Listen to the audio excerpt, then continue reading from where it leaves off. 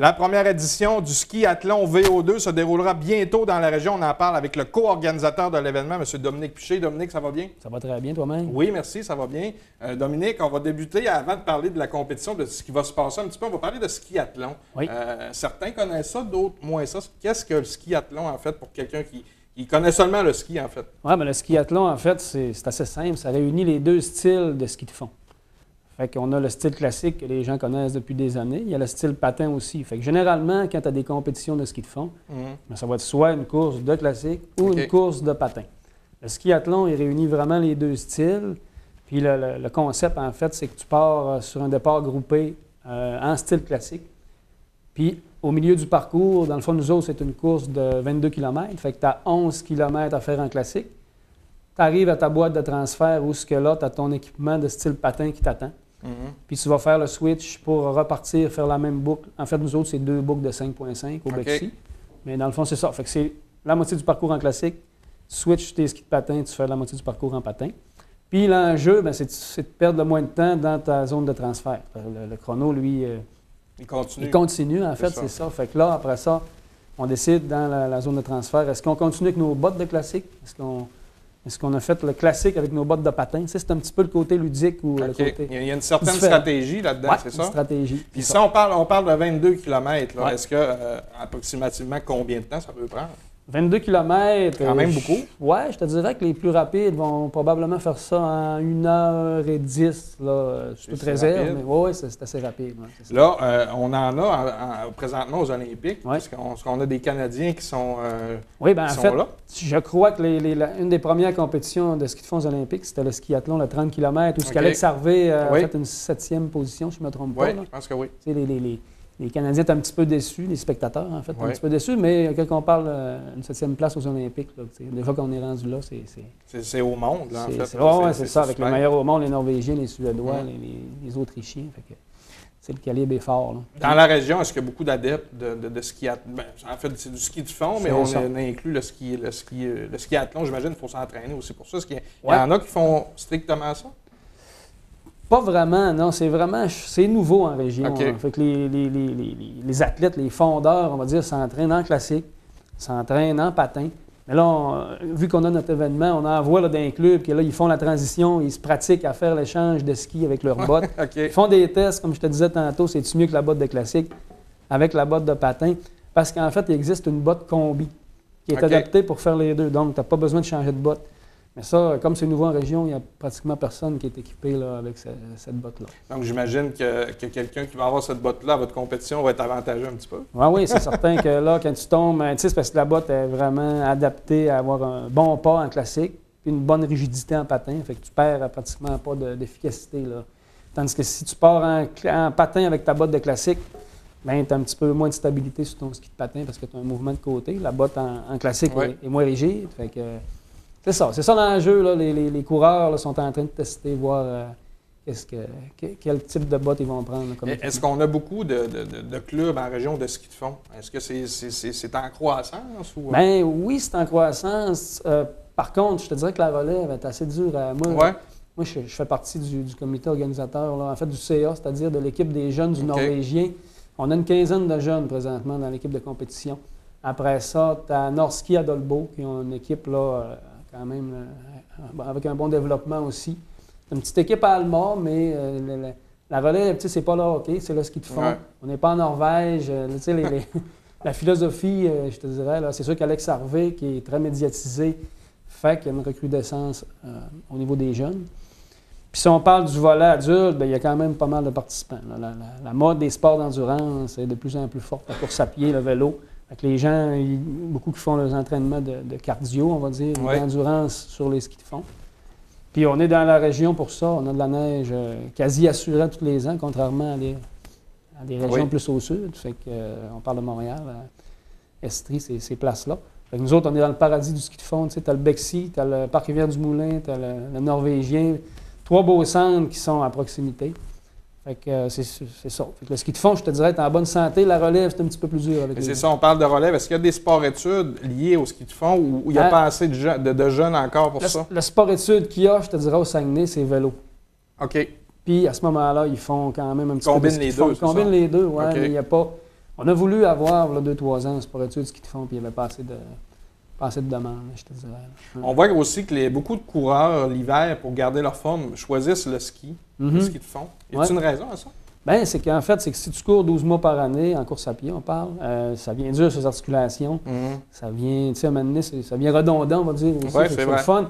Le mouvement, euh, le mouvement du pas classique en ski de fond ressemble beaucoup musculairement euh, à la course à pied. OK. Fait que c'est une bonne entraînement, on va dire, alternative là, pour, le- pour les coureurs. hein. Maintenant, Dominique, tu as apporté de l'équipement avec nous Ouais. autres. Est-ce que tu peux nous expliquer à quoi va servir Oui. euh, l'équipement que tu as apporté?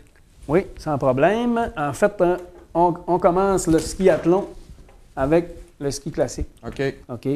Oui, qui est vraiment... euh, C'est léger, hein? c'est- ben, léger, ça, c'est hein? les, les top gamme. là. C'est sûr qu'on parle des skis qui sont les plus légers sur le marché. OK. Fait que le ski classique, euh, en fait, pour les gens qui connaissent un petit peu moins ça, c'est un pas euh, en ligne droite qui se pratique dans deux traces euh, qui sont tracées mécaniquement. Tandis que le patin, c'est un ski qui est plus court pour un mouvement latéral. OK. OK? C'est, ce que la différence, en fait, majeure, la longueur puis la cambrure euh, dans le ski. là. Les fixes, est-ce qu'ils sont pareils aussi également? Ou, Ouais, euh, mais celui-là, il c'est y a, juste il y a parce que lui, il fixation. en a pas, c'est ça? C'est un ski neuf que je t'ai apporté. D'accord. Mais il y a une petite différence au niveau de la fixation aussi. OK. Si on parle des bottes, Oui. ben, ben, les bottes, en fait, on disait tantôt que la botte de classique a moins de rigidité, fait qu'elle est, elle est conçue pour travailler par en avant. Tandis que la botte de patin, très très rigide, on voit qu'il y a un renfort à la Oui. cheville en carbone. Fait que ça, c'est fait, pour faire le mouvement latéral. OK. Ouais. Est-ce qu'on a les bâtons, est-ce qu'il y a une, différence Oui. entre certains bâtons? Oui, ou ça, les ça a un peu d'impact? Les bâtons ont quand même un impact. chez les- les- je pense que les coureurs pour le skiathlon vont, vont- vont faire le choix de changer de bâton. En fait, le bâton de classique est plus court, il va à l'épaule. Tandis que le bâton de ski patin va plus à la bouche ou en bas de OK. l'oreille. Fait que pour avoir une plus longue poussée. Fait que oui, euh, écoute, encore là, il y a peut-être du monde qui vont garder le même bâton, puis il y en a qui vont changer. C'est ça la beauté de la chose en skiathlon. C'est qu'on va voir euh, quand même euh, différents, euh, pas différentes techniques, mais différentes euh, associations. au niveau de aussi, stratégie hein. plutôt. C'est beaucoup de stratégie, c'est ce qu'on ce qu'on voit. on penserait pas ça, mais quand même. euh, Oh, oui, tu sais, il y a le fartage qui rentre en ligne de Oui, compte aussi. L'équipement, euh, c'est ça. C'est, l'entraînement aussi. tu sais, Oui. Les, les- les coureurs vont se préparer spécifiquement pour euh, cet événement-là. Ils vont faire toujours des, des doublés d'entraînement. Ils vont commencer par faire un, un 20 km classique, un 20 km patin pour avoir fait leur, leur volume là, pour l'événement, si on peut dire. C'est sûr que c'est un volant aussi, on, a, par- on a parlé du volet adulte qui est un 22 km. Mais on a les volets jeunes aussi pour la relève de 1 à 6 km, dépendamment de la catégorie. Puis on invite aussi, euh, nous en fait, ça fait partie du championnat des maîtres du Québec. Fait que tu vas avoir l'élite des adultes on- OK, qui, vont, qui vont se déplacer pour l'événement. Mais on vise euh, surtout le volet populaire aussi. On a, on a un volet équipe. En fait, fait que tu peux le faire, euh, ton, ton- on va dire, ton, ton ami fait le classique, euh, le, le 11 km, puis toi, tu embarques en patin après. OK. là. Fait que, tu sais, c'est vraiment le volet populaire qu'on veut développer en région pour que les gens participent aux événements. Fait que moi, on, on le, on fait pas la promotion comme étant une compétition, mais comme plus un événement. Donc, il va y avoir euh, quelque chose qui est par, par- par rapport à la Coupe du Québec, c'est bien ça? C'est ça, l'Association des maîtres Mais du Québec. aussi également, euh, monsieur, madame, tout le monde qui font du ski de fond, qui voudraient s'inscrire, tant Exact. les jeunes que les adultes vont pouvoir le faire. C'est bien ça? Exactement, c'est ça. C'est que tu peux le faire en équipe là, euh, sur, le, sur, sur le volet adulte plus. Là, en, fa- en fait, en, en faisant le 11 km classique, puis quelqu'un d'autre peut faire le patin. ou Ouais. vice-versa, c'est Puis ça. présentement, est-ce que les, les- les inscriptions vont bien? Est-ce qu'on a encore de la place? Comment ça fonctionne? Oui, il y a de la place, c'est certain. Euh, pour l'inscription, on a, on a un site d'inscription en ligne qui est euh, lepointdevente.com. OK. C'est sur ce site-là qu'on peut se préinscrire. Puis évidemment, il y a des rabais là, pour la prévente. OK. La prévente se termine quand? La prévente se termine euh, le jeudi avant l'événement, c'est-à-dire euh, le 8 ou le 9 euh, mars. Ouais. OK. Donc, si on résume, Dominique, euh, ça, ça va être le 11 mars 11 mars. au centre plein air Bexy à la baie. C'est en plein ça. ouais. Euh, donc, c'est pour tout le monde aussi. C'est pour tout le monde. C'est pour tout le monde. Si on, veut, Exactement. si on veut de l'information un petit peu plus, on a parlé beaucoup de choses rapidement ce matin, mais si des fois les gens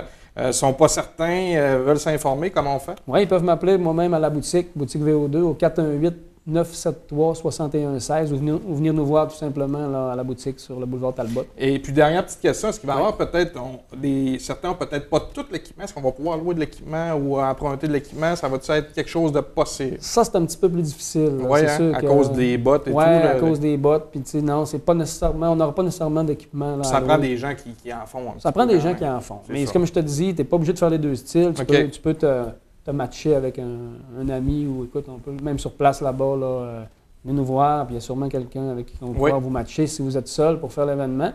Puis encore là, euh, c'est vraiment la, la- la participation qu'on veut. On veut que les gens s'amusent, on veut qu'ils découvrent euh, qu'est-ce que le skiathlon, la beauté de faire les deux sports ou de le faire en équipe. là.